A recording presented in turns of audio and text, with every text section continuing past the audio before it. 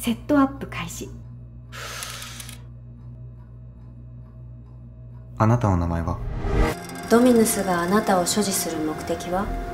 孤独な時間を持たないこと。夢は終わり。